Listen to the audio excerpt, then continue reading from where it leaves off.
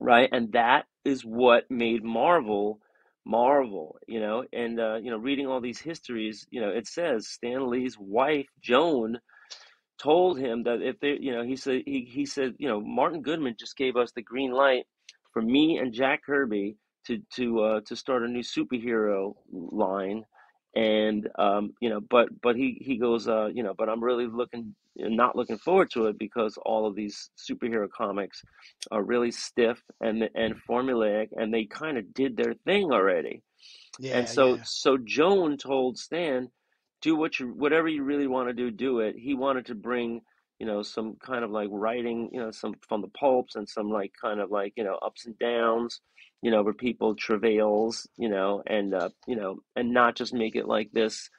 stereotype, you know, of uh, this, you know, white man that comes in and saves the day and, you know, and uh and